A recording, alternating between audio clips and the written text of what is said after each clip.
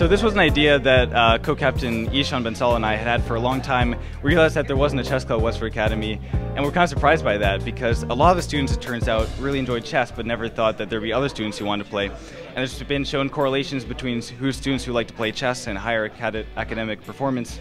And so we think that we'd like to foster that and to think about all the things that chess encourages, like thinking ahead, planning, patience. Those are things that we'd like to encourage here at the club. And it's a lot of fun. I think everybody here can tell you that we like to have a good time playing chess, as lame as it sounds, but really enjoy it, and that's what we love here.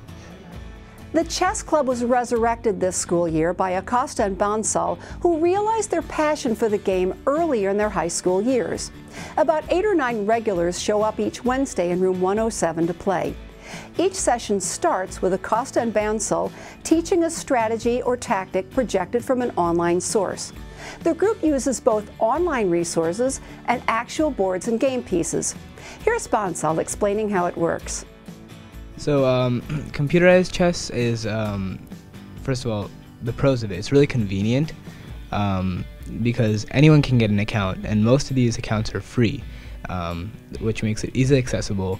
Um, they're always really good interface, and the awesome thing, uh, why we have like computers incorporated into what we do, is because they teach you.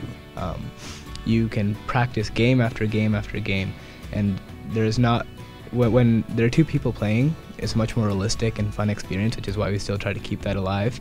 But at the same time, if there is an odd number of people and one person can't play, the computer is a great source to learn. Um, and and we actually for like a half hour at the beginning of every meeting, we have like lessons um, where we teach something new every day, a new concept, a strategy, an opening, a tactic, an end game, whatever works. Um, and I, I, think that computers are really what help drive what we teach. Uh, we base a lot of what we teach on what we learned from these computers.